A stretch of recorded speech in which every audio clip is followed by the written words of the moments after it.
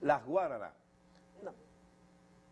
Vamos a ver dónde está nuestro compañero Vamos a ver dónde está, porque Vladimir, no está en San Francisco.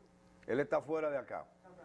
Sí, hace poco está en la estaba en el. Colegio La Altagracia, Ah, ok, Vladimir. continúa entonces en la Altagracia. Adelante. Adelante, Vladi.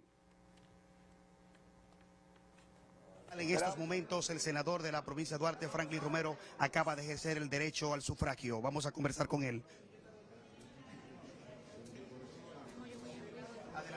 Adelante, senador, ¿cómo se ha sentido día de hoy el ejercicio de su derecho a la democracia? Pues mira, eh, ejercer un derecho fundamental, un derecho que tenemos nosotros nuestra constitución, que es elegir y ser elegido, pues una gran satisfacción. Eso quiere decir que estamos viviendo en una democracia, que es lo más importante, y más importante todavía fortalecer esta democracia.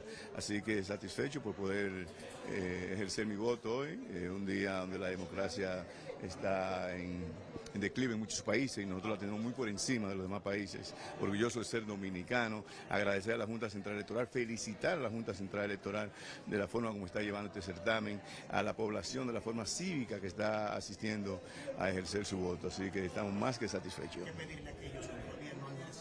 Bueno, pues tienen que venir a votar porque es un derecho que tienen cada cuatro años. Si no lo hacen, pues entonces, ¿qué derecho van a ejercer? Así que vengan, voten, voten por el que ustedes quieren. En nuestro caso, nosotros ya vamos a votar por lo del PRM, que voten por el que les guste a cada uno. En nuestro caso, nosotros votamos por el PRM.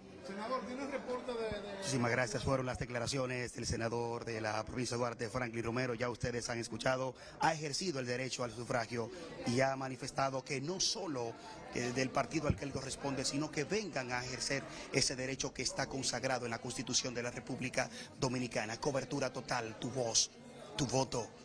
Telenor, elecciones municipales 2024. Nosotros continuamos. Bueno, ahí estaba el senador por la provincia Duarte, don Franklin Romero, eh, ejerciendo